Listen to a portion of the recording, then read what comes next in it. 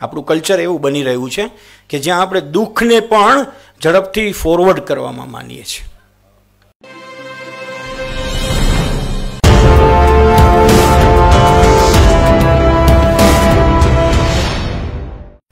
અમે બધા ખૂબ નસીબદાર છીએ. ખાસ કરીને હું તો ખૂબ નસીબદાર છું. કે ભદ્રાયુભાઈ સાથે કામ કરવાની મને એક નાનકડી તક મળી છે. એની સાથે કલાક કલાક, બબે કલાક ક્યારેક બેસવાનો મને વારંવાર અવસર પણ મળે છે. એટલા માટે કે એમની પાસેથી જ્યારે બેસી, એની સાથે જ્યારે પણ હું બેસું, ત્યારે એક નવી ઊર્જા મળે, નવું શીખવા મળે, નવા વિચારો મળે. સૌરાષ્ટ્ર હાઈસ્કૂલના અમારા પ્રમુખ છે અને એમાં હું પણ ટ્રસ્ટી છું. પણ સૌરાષ્ટ્ર હાઈસ્કૂલના પ્રમુખ તરીકે અને અમારી ટ્રસ્ટી મંડળની જ્યારે જ્યારે મિટિંગ કોઈક અગત્યના મુદ્દા માટે અમે જ્યારે સાથે બેસી અને ભદ્રાયુભાઈની હકારાત્મકતા તમે જુઓ અને તમને એમની પાસેથી એટલું બધું શીખવા મળે એટલે ખાસ કરીને મારી વાત કરું તો હું મારી જાતને એટલા માટે ભાગ્યશાળી ગણું છું કે ભદ્રાયુભાઈ જેવી સાથે વ્યક્તિ સાથે બેસવાની મને કલાકોને કલાકો તક મળે છે અને એની પાસેથી હું ખૂબ શીખો છું. આદરણીય ભદ્રાયુભાઈને વિનંતી કરીશ કે વિષયને એની આપે. ભદ્રાયુભાઈ વચરાજાની પ્લીઝ મેં શૈલેષભાઈને એવું પૂછ્યું કે આમાં બાવીસ દીકરીઓ છે? તો કે છે, એમના પતિઓ પણ છે? બંનેના સાસુ સસરા છે કે કોઈ એકના જ છે? અચ્છા. વાહ. ટૂંકમાં સાસુઓ હાજર છે.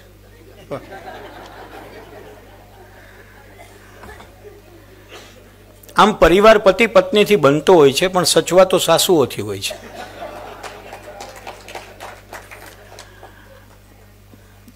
ખરેખર તમે જુઓ તો મુકેશભાઈ અને દીકરાનું ઘર સંસ્થાના જે મિત્રો છે, એમણે આજનો સેમિનાર પોતાના સ્વાર્થ માટે રાખ્યો છે. એટલા માટે સ્વાર્થ માટે રાખ્યો છે કે ભવિષ્યમાં દીકરાનું ઘરમાં વધુ રૂમ ન ચણાવવા પડે.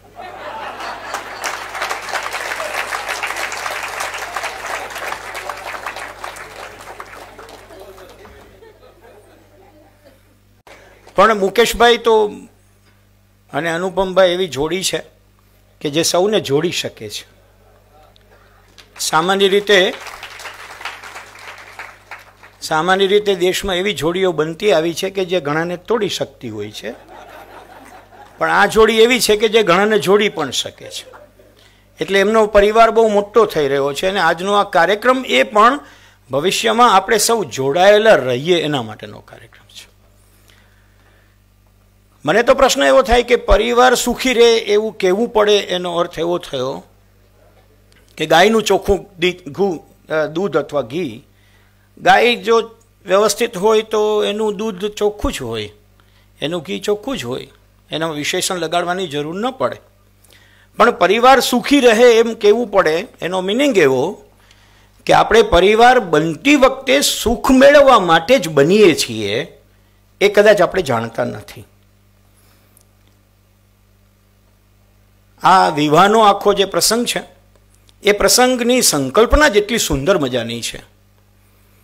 સામાન્ય રીતે આપણે લોકો અત્યારના કલ્ચરમાં કોઈ દુર્ઘટના બને અને એ દુર્ઘટનાના જો આપણે સાક્ષી હોઈએ, તો પહેલાં આપણો મોબાઈલ ખોલીને એમાં વીડિયો ઉતારવાનું કામ કરતા હોઈએ છીએ. અને પછી સામે જે બનતું હોય તે ભલે બનતું રહે, પણ એ વીડિયો પહેલાં કોઈને શેર કરી દેવાનું લાહો આપણે લેતા હોઈએ છીએ. આપણું કલ્ચર એવું બની રહ્યું છે કે જ્યાં આપણે દુઃખને પણ ઝડપથી ફોરવર્ડ કરવામાં માનીએ છીએ. અને આ દુઃખને ફોરવર્ડ કરવાની આખી મનોવૃત્તિ છે. તમને મને બધાને ખ્યાલ છે. એ મનોવૃત્તિમાંથી બહાર નીકળીને કોઈ એવું વિચારે કે જેના ઉપરની છત્રછાયા નથી, એની છત્રછાયા બનવા અમે જઈ રહ્યા છીએ, અથવા સમાજને અમે જોડી રહ્યા છીએ ત્યારે આ બીજું વર્ષ છે અને બીજા વર્ષે આ એક સ્તુત્ય પ્રયોગ અત્યારના થઈ રહ્યો છે કે જેમાં આપણે સૌ બાવીસ દીકરીઓ, એમના પતિઓ, એમના સાસુઓ બધા સાથે બેસીને વિચારીએ છીએ કે આપણે પરણ્યા પછી શું કરવું છે એની વિચારણા પરણ્યા પહેલાં કરી લેવી સારી છે. મારે એવું ન કહેવાય એ એ સારું ન કહેવાય. પણ હું માનું છું કે આ સેમિનાર સાંભળ્યા પછી કોઈને એવું લાગે કે આમાં બહુ જામે એવું નથી, એકવીસ બાવીસમાં જોડાવા જેવું નથી, તો હજુ વિચાર કરી લેવાય. એટલા માટે કે અભિમન્યુના કોઠામાં પ્રવેશ કરવાના પહેલા દ્વાર ઉપર તમે ઊભા છો. પહેલા દ્વારમાં પ્રવેશ કર્યો પછી સાતમા સુધી બહાર નહીં નીકળે હું તો ઘણી વખત કહું છું કે પ્રેમ કરનારાઓ યાદ રાખવા જેવું છે કે જગતમાં જેટલું સારું તેટલું ગમે એવું જરૂરી નહીં. જેટલું ગમે તેને ચાહવું તેવું જરૂરી નહીં. જેટલાને ચાહીએ તેને પ્રેમ કરવો જરૂરી નહીં. જેટલાને પ્રેમ કરીએ તે બધાને પરણી શકાય એવું પણ જરૂરી નહીં. પણ જેને પરણીએ તેનો તો પછી પ્રેમ કરવો એ એક આવશ્યક શરત બની રહે છે. તમને પહેલા ઓપ્શન છે. આ ક્વેશ્ચન પેપર એવું છે કે પહેલા ઓપ્શન છે. પણ તમે અભિમન્યુના કોઠાના પાંચમા દ્વારમાં પ્રવેશ્યા, પછી તમારું જે થવું હોય તે થાય. એ ટાણે પછી ન મુકેશભાઈ બાજુમાં આવે કે ન અનુપમભાઈ બાજુમાં અનુપમભાઈ એમ કે બહુ હાલત ખરાબ હોય તો તમને સ્લીપર ચપ્પલ અપાવી દો બાકી તમારું તમે કરી લ્યો.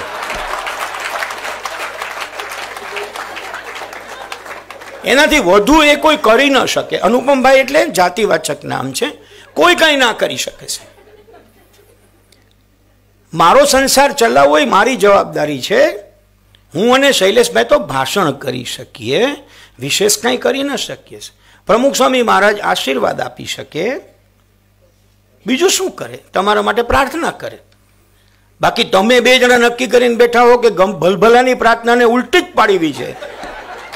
તો એમાં ગમે તેવા મહારાજ આવે, એમાં કંઈ ફેર ન પડે. આ બધા સંતો મહંતો ન પરણીને પછી જ પરણેલાઓને આશીર્વાદ આપતા હોય છે.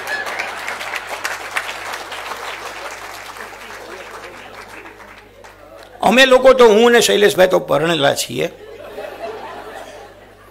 એટલે ચિંતાનું કોઈ કારણ નથી. એટલે અમે તો એમ કહેવા આવ્યા છીએ કે મુજ વીતી તુજ વીતશે.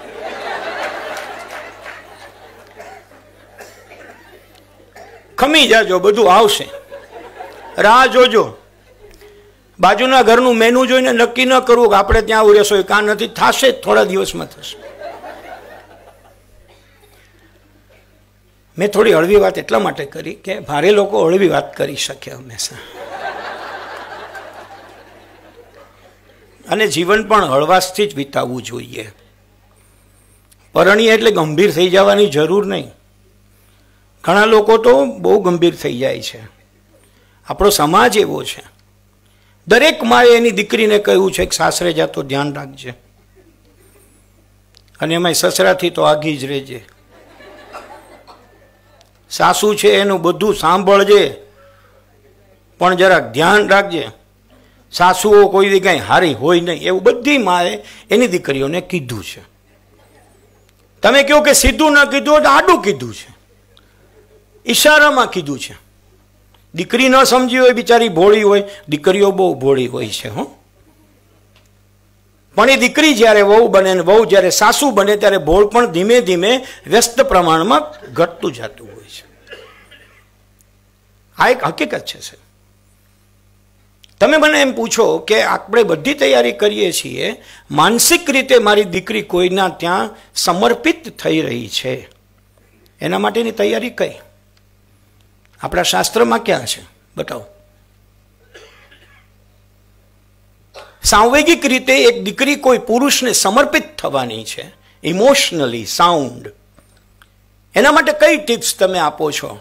તમે આણું તૈયાર કરો છો? તમે લગ્નનું બધી જ તૈયારી કરો છો? તમે રિસેપ્શનમાં શું રાખવું? ચમડવારમાં શું રાખવું નક્કી કરો છો? પણ દીકરીને કોઈ દી તમે ને મેં ઘડી છે?